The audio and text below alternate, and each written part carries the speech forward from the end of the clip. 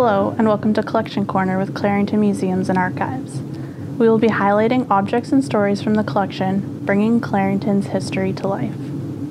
Today we will be discovering a decorative galleon ship made by the Bowmanville Foundry. This item is featured in the 2021 exhibition Clarington at Work on display at the Sarah Jane Williams Heritage Center. This decorative galleon ship, made circa 1940, is one of the many things the foundry has produced in its years in operation. This galleon ship is intended to be lit from the inside with a spot at the back to insert a candle or a light. The foundry created many things, including farm implements, railway equipment, household items such as irons, decorative items like this ship, and even bomb hoists during World War II. The foundry began operation in 1902 at its original location on the corner of Division and Church Street. The company later moved and expanded substantially at a location west of Scugog Street. The business was founded by Christian Reeder and George Harris Linton, and the Reeder family owned and operated the business until 1988.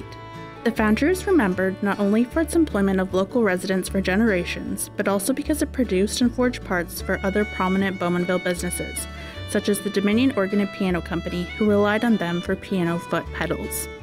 The company withstood the challenges of both World Wars and the Great Depression and was even able to survive a devastating fire in 1960 that destroyed much of the plant.